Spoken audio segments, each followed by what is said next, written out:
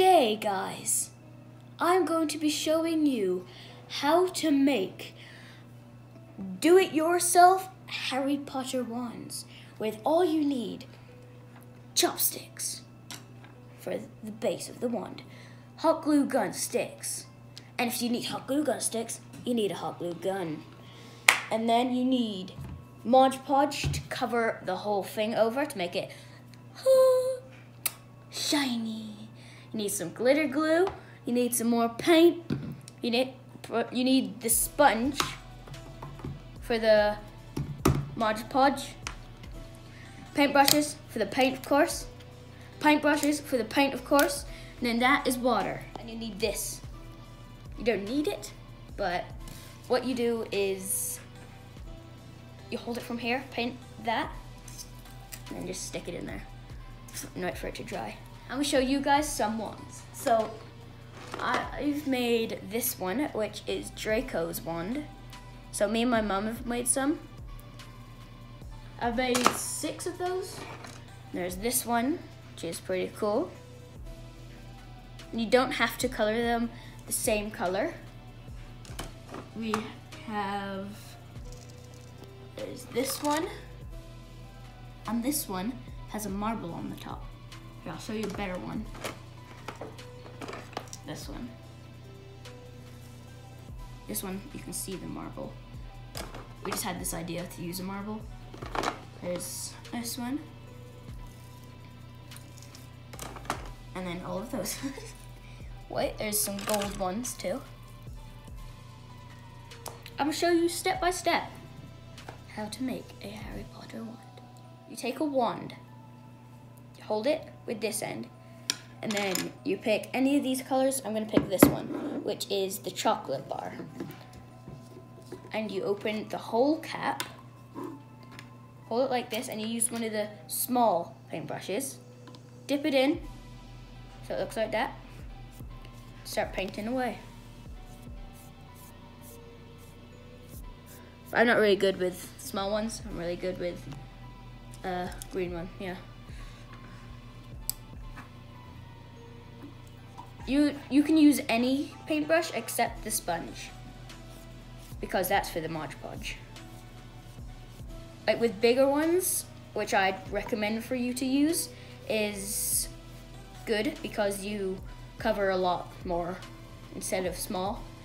And with this, you have to remember to paint the top.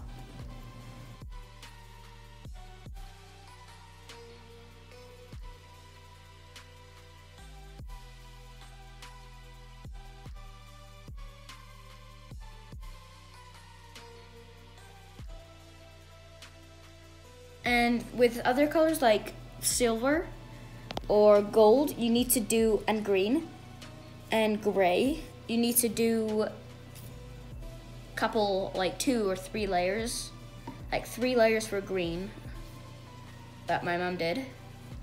And yeah.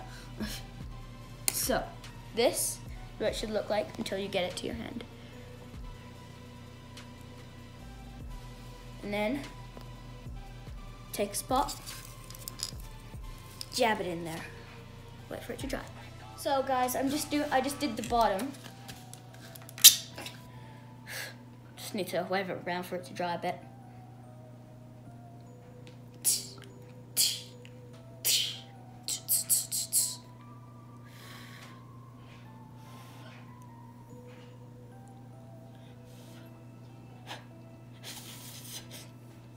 Okay, perfect. Now, of course, you need to just tightly seal that down. Now for the fun bit. Now the hot glue is dried. So, no, the hot glue is hottened. you can hot glue the stick. So I'm gonna do, like you can do whatever you want. You don't have to do what I'm doing. You could do a lines or anything. I'm just gonna do some swirls. So I'm gonna start with a little bit of a circle right about here, which makes that look like that. Now you need to wait for that to dry. And don't touch hot glue. Give you a blister.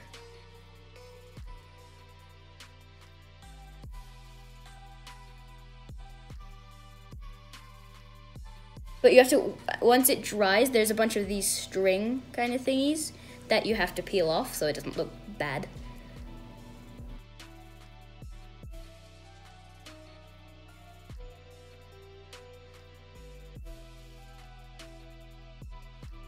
So this is how it's looking so far. You can see a string is floating up. If you can, you guys can see it.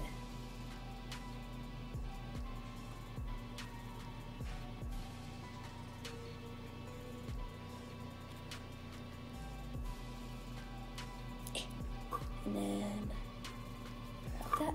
Okay. And then you leave off and you start again where you left off.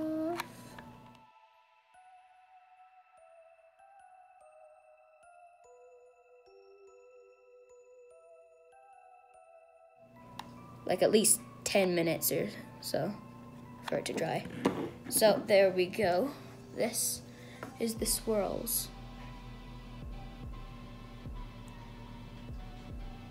Now,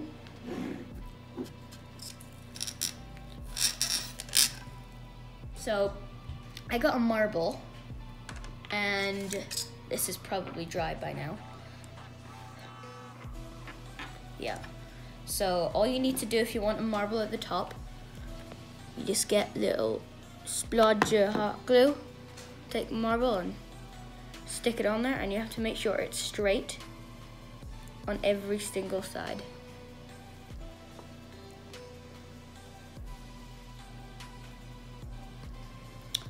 So, so far. And then you grab that, the hot glue gun again, and just put another circle around it so it stays. So like that. And then just need to wait for that to dry. And then you can paint over the hot glue. But while I'm waiting, I'm gonna pull off some of the strings. All of the strings. Because it just looks weird with a bunch of strings on your wand, doesn't it? So this is some of the strings off. This is how it's going. So now we paint the hot glue. And I'm going to paint the hot glue. What would go good with that? This one. That would look good with that.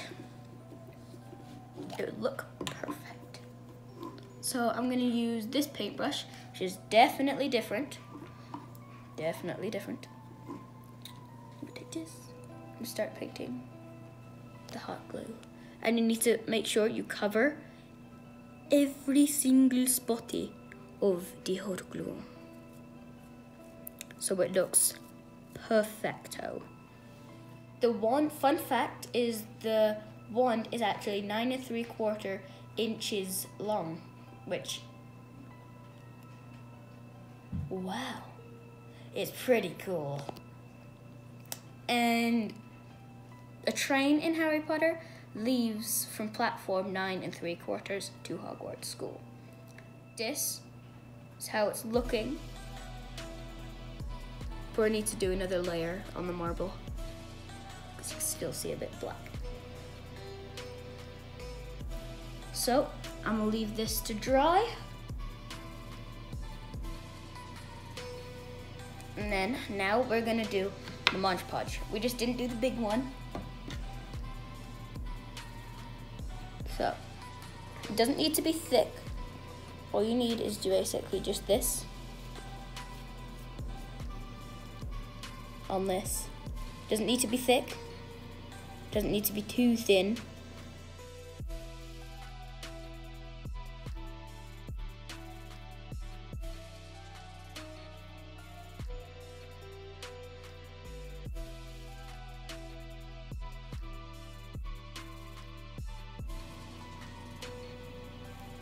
Get it in the cracks everywhere. So it looks shiny. At first it'll just like look white, but you need to wait for this to dry too. Have to wait till a lot of things.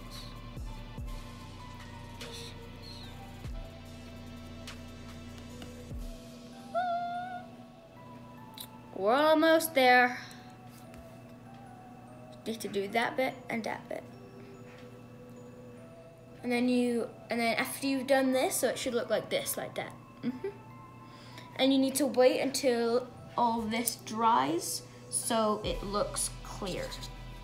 So I'll come back to you when it's done. So after you've done it, this is what it should look like.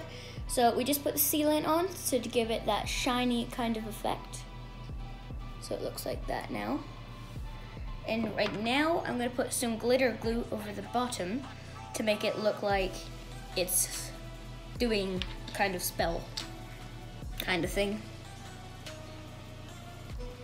You guys don't need too much glitter glue to do it. You need a paintbrush, of course, though. Just do that.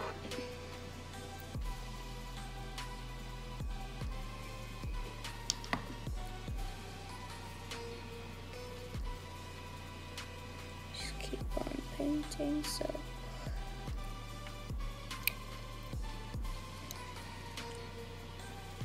This gives it kind of the spell effect kind of thing. Looks like it's doing a spell. Wingardium Leviosa! Ah.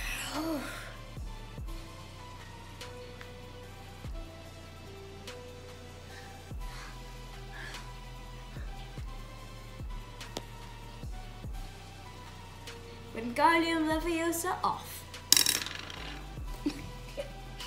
I don't know. Hope you guys enjoyed this video. Be sure to smash that subscribe button and like my channel. See you guys next time. Goodbye. And for the last spell, YouTube turn the video off. Ugh.